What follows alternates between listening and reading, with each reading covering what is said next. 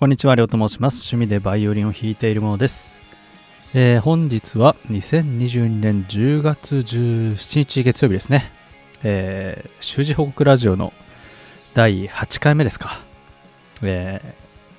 ーやっていきたいと思うんですけども、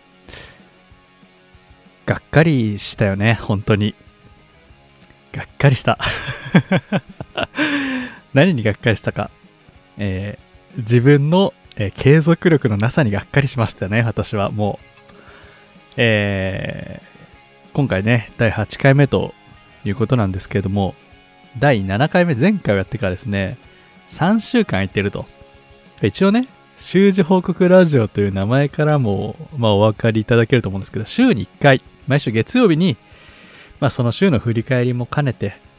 まあ、喋るという動画をね、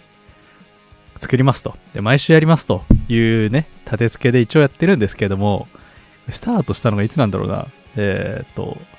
結構前。ま会社を辞めた後直後ぐらいなのかな。ちょっと、えーっと、いつかわかんないですけど、調べるわかるかな ?8 月かな ?8 月ですね。8月の8日。はい。この日に第1回をやって、まあ、現在に至るんですけども、7回までは毎週撮った。で、7回で尽きた。もうね、がっかりだよ。週1回ぐらいできるだろうと。ね、ハードルをね、できるだけ下げて、やっぱ目標ってのは小さな目標からね、達成していくのがベターであるというのがね、まあ定番の、定番ですから。私もね、できるだけハードルを下げてやったつもりだったんですけど、それすらできないと。私がね、いかに継続力がない人間かっていうことをね、あの、分かっていただけたんじゃないかなと思います。私、バイオリンは、まあ、700日以上かな。毎日練習してるんですね。で、これ結構奇跡なんですよね。なんか、あの、このバイオリンの取り組みだけを、こう、ね、見てくださった方に、あ、なんて、こう、継続力がある方なんだと、根気な、根気強い方なんだというふうにね、たまにね、こう、褒めの言葉いただくんですけども、あの例外です。バイオリンは例外なんです。バイオリン以外のことは何も続かない。もう今までどれだけのことを挫折してきたか。はい。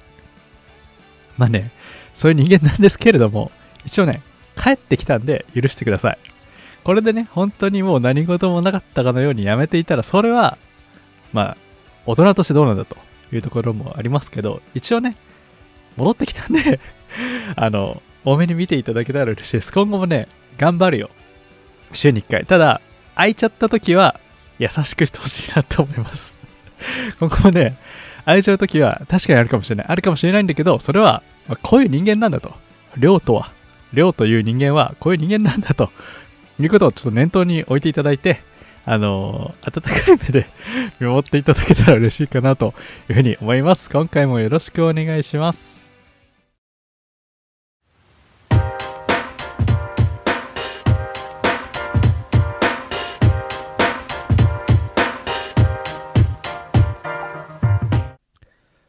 ここ最近というかですね、昨日か、もうまさに昨日、最近どころじゃないですね、昨日か、昨日からですね、あの、あることにハマっておりまして、あの、あることっていうのはですね、あのサッカーの本田圭佑選手にハマってるんですよ。今って感じですよね。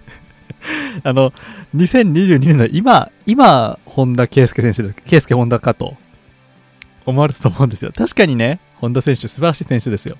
えー日本のね、サッカー、日本の代表として、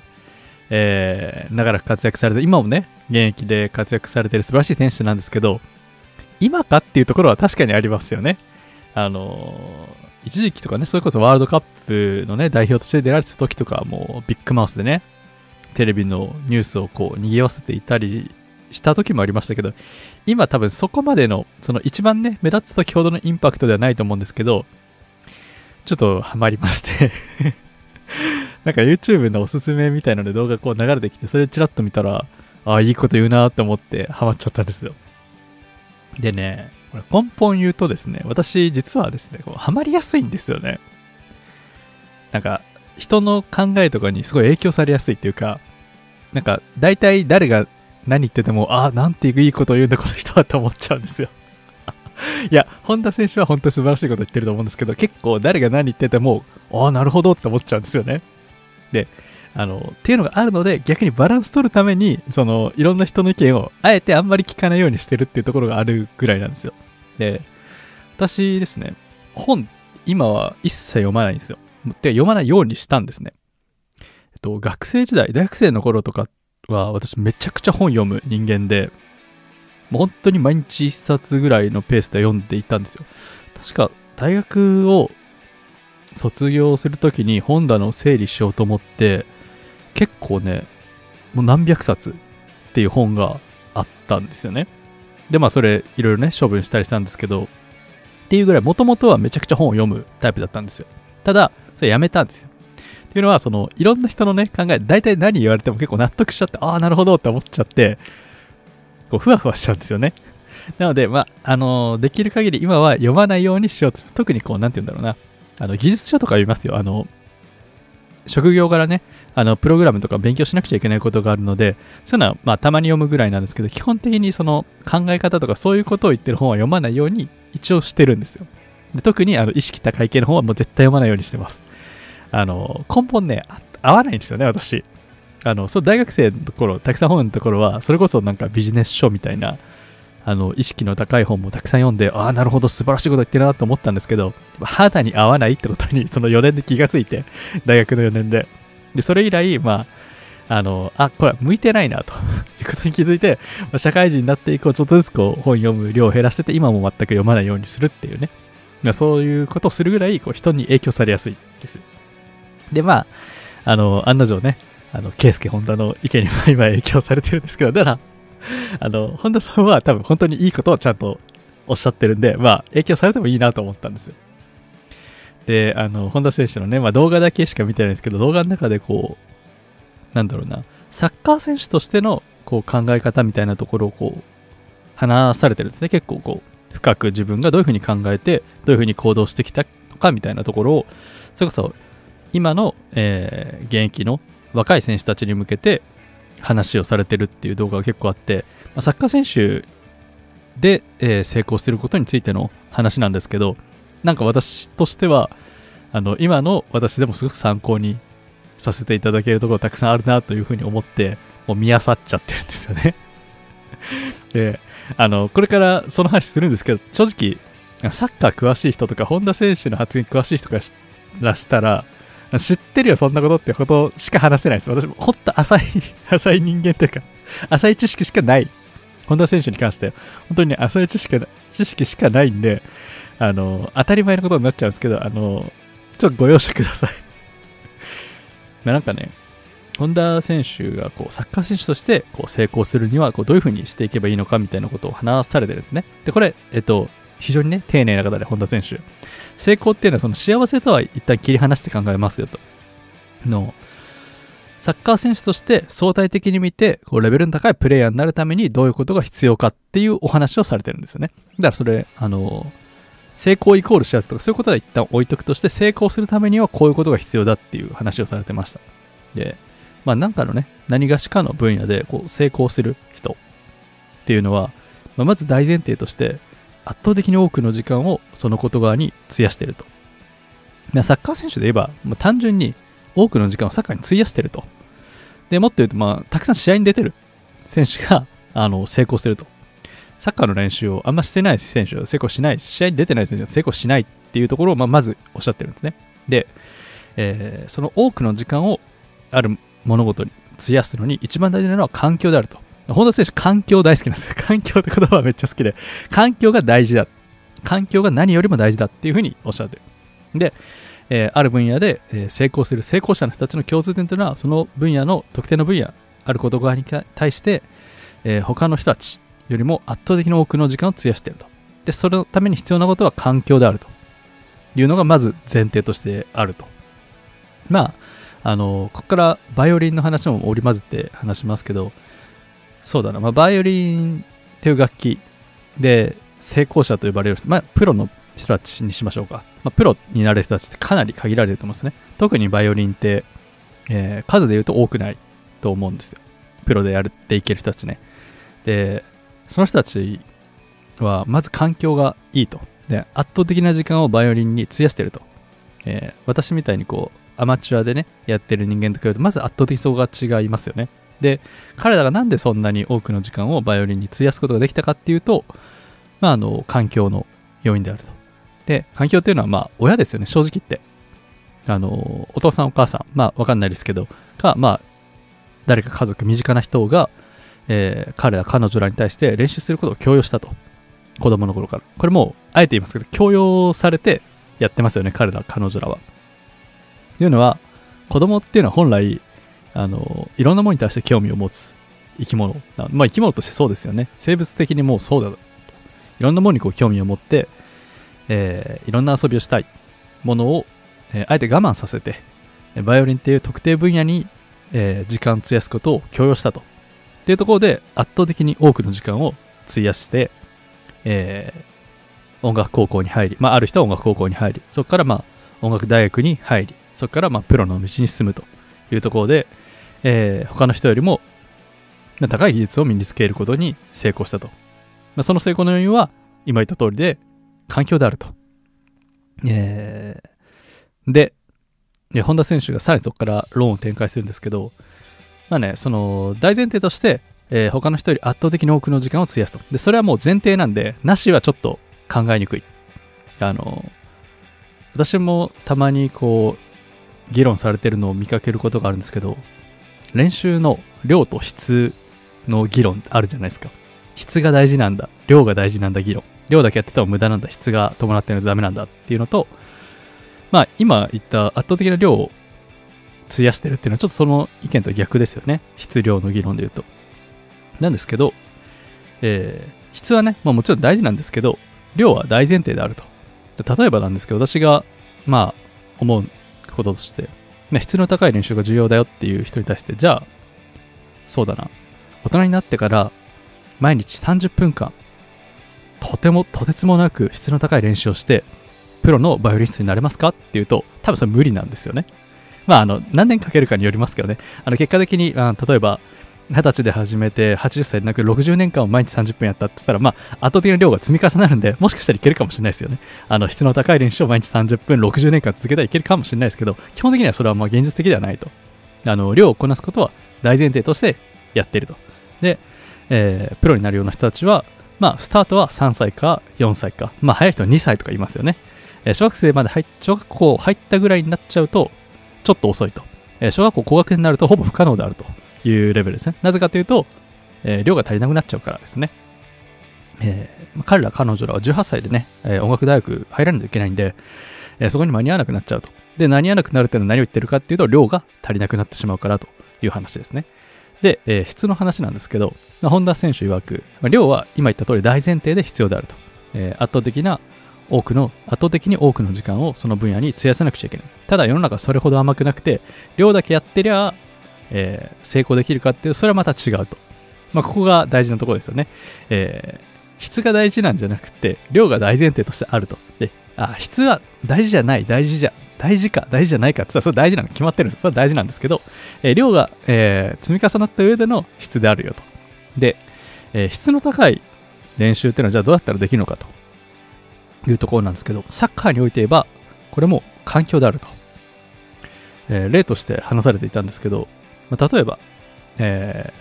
ー、日本のどっかこう田舎の方の、えー、クラブチームというか、なんていうんですかね、まあ、サッカークラブみたいなところで、えー、サッカーを学ぶってなると、例えばまあ指導者もそこまでサッカーに精通してなかったりとか、あとはまあ、えー、指導、指導の経験がそこまで、えー、十分ではなかったりっていうケースがあると。で、えー、周りのプレイヤーも、えー、そこまで上手ではないと。サッカーに関して、本田選手の考えで言うと、まあ、あの、試合というか、なんていうんですか、なんていうんですかね。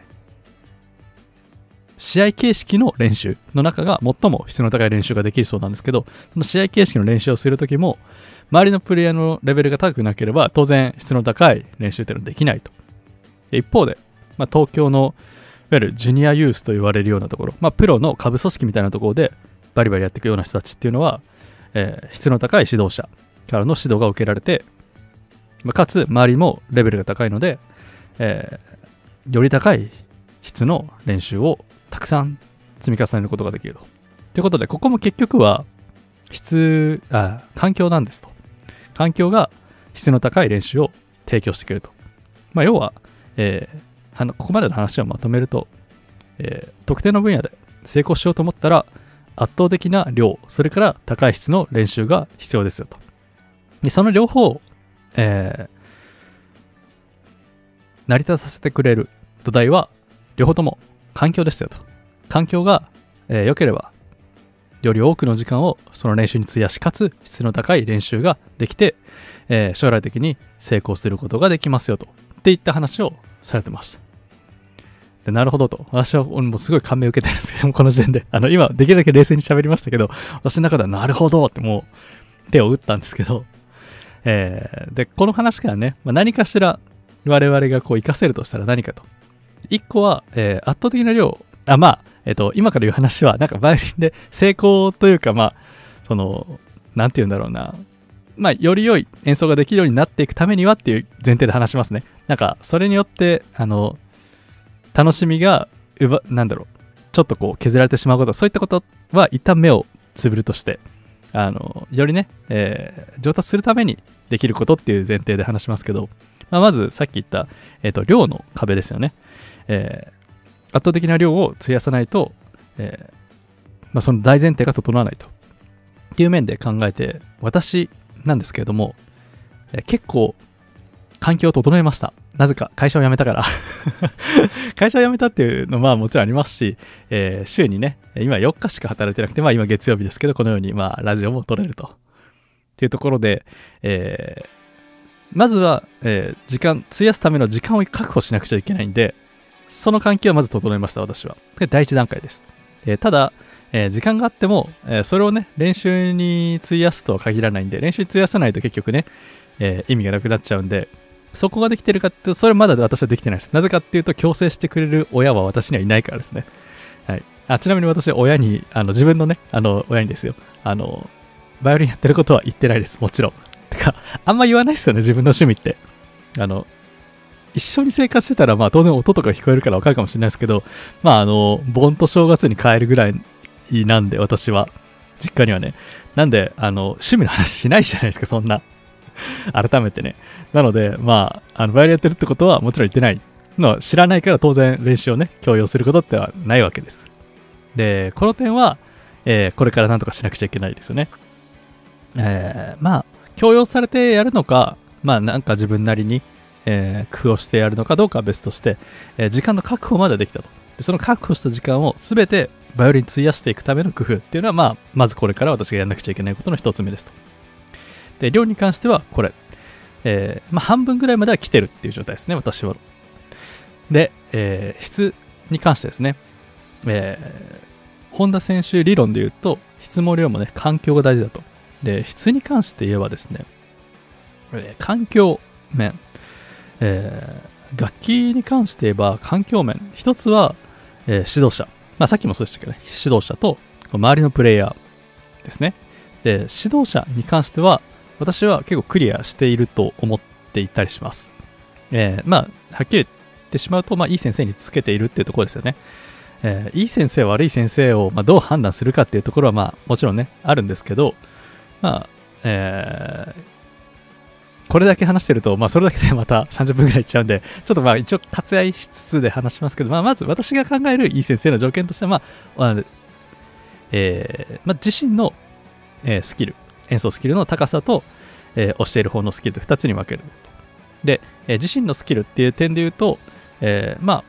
あ、プロとして、えプレイヤーとしての仕事がちゃんと、え途切れずに来ているかどうかっていうところを私はまあ1個実績として考えてまして、私の先生は、えーと、両方やってる先生なんですね。えーと、指導と、え演奏家としての活動。で、え演奏家としての活動も普段からされている。で、えまあ問題ないであろうとないないというか、まあ、高いレベルであろうと私は思ってます。まあ、あの、あと、もっとはっきり言ってしまうと、まあ、音大のレベルとかそういうところでも押し量れてしまうんですけどね。あの、まあ、これあんま言ってるとなんか学歴の話になっちゃうんで、あんま言い過ぎない方がいいのかもしれないですけど、まあ、あの、バイオリン、えー、専攻される方であれば、まあ、日本でトップと言われる大学を卒業された方なので、まあ、問題ない、問題ないんじゃないですね。えー、高いレベルであろうというふうに思ってます。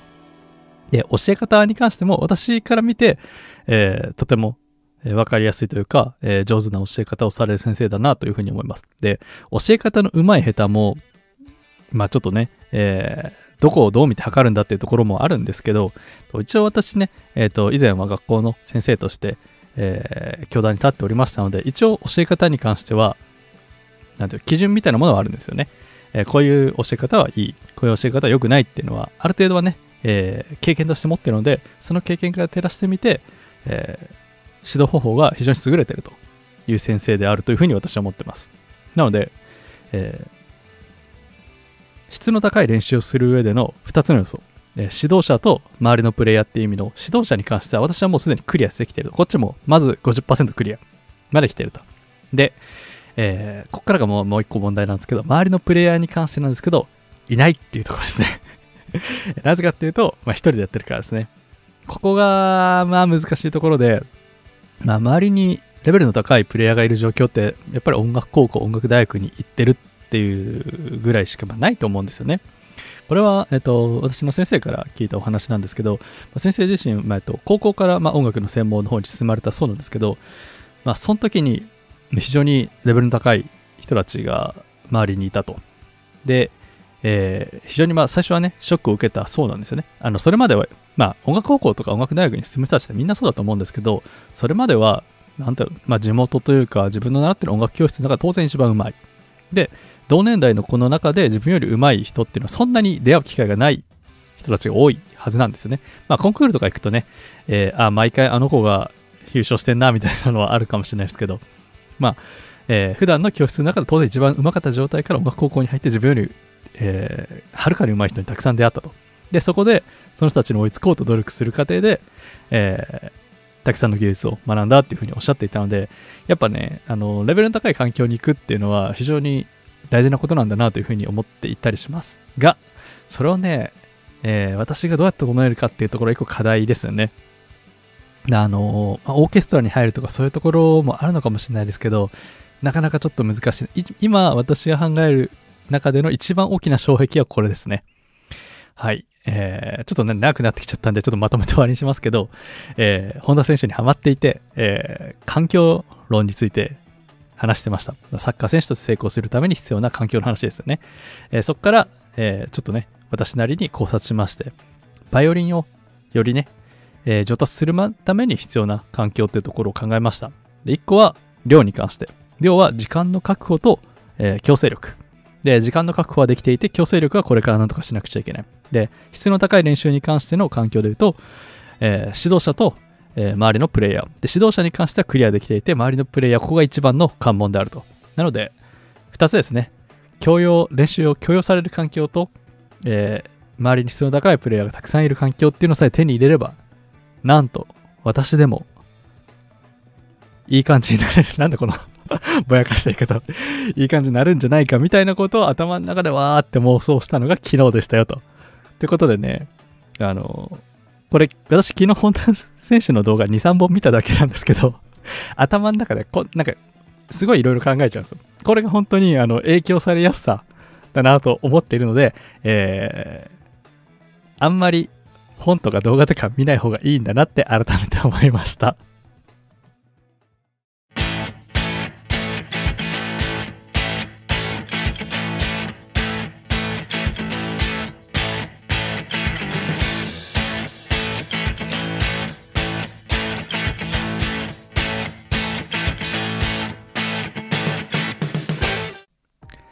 コメントを読みます。えー、毎回、えー、動画にいただいたコメント何件か読ませていただいております、えー、コメントくださる方、本当にありがとうございます。なんか、どんなことでもいいので、何か思うところあったら、気軽にコメントしていただきますと、すごく励みになります。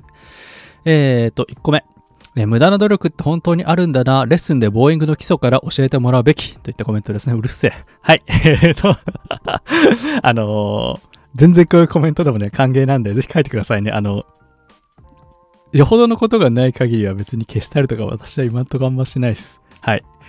あの、他の人のとこで、他の人のとこはちょっと私はわかんない。わかんないですけど、私は別に全然いいんで、なんか、うん。死ねとかでもまあ別に、や、や、まあ嫌だっちゃ嫌だけど別に消すほどじゃないかなと思っちゃうタイプなんで、まあなんか思ったらコメントしてください。えっ、と、無駄な努力って本当にあるんだな。レッスンでボーイングの基礎から教えてもらうべき。まあそうですね。はい。えっ、と、まあ、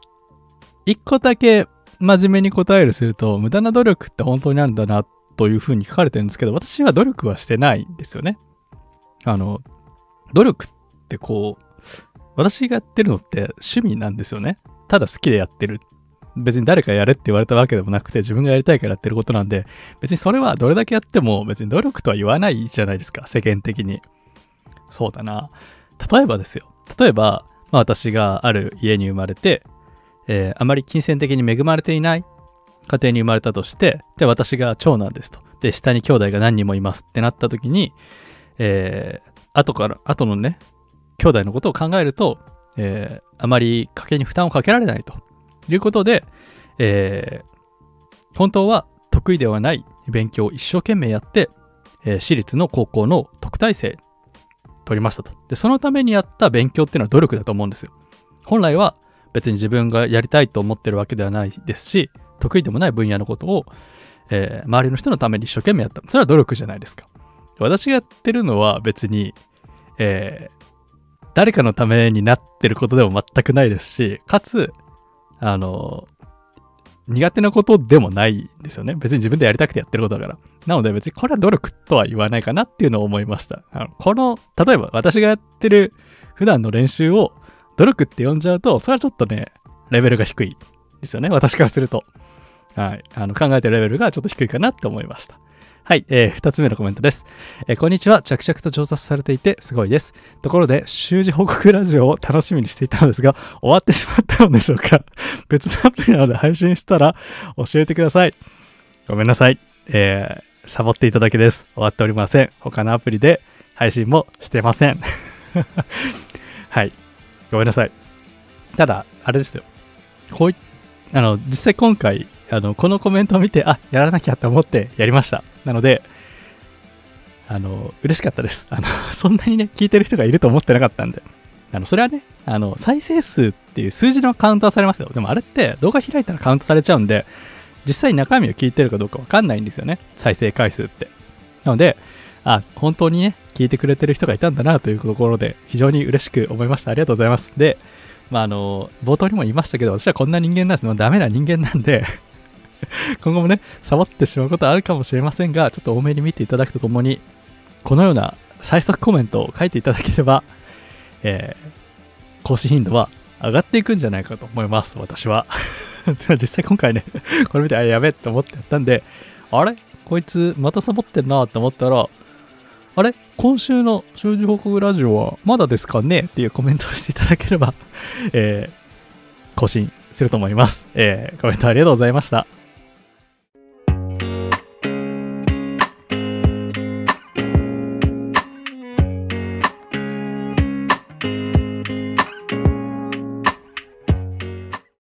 エンディングです。えー、2週間空いて、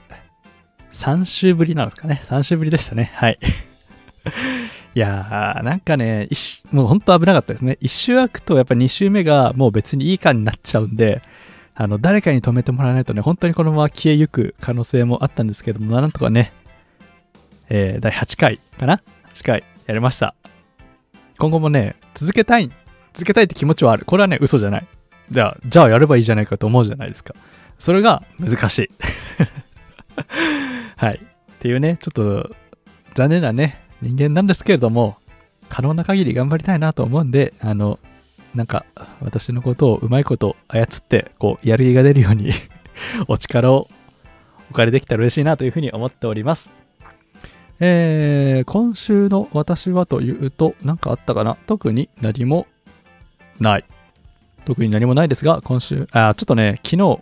一昨日ぐらいかな、ちょっと練習サボり気味なんで、ちょっと気を引き締め直して、えー、頑張りたいというふうに思います。せっかくね、ケイスケ・ホンダのイズムも学べたので、えー、頑張りたいなというふうに思ってモチベーションがちょっとだけ上がっている最中でございます。えー、今回は以上です。最後のお聴きいただきましてありがとうございました。また来週お会いしましょう。また来週、え、月曜日に更新をします。えー、ご視聴ありがとうございました。バイバイ。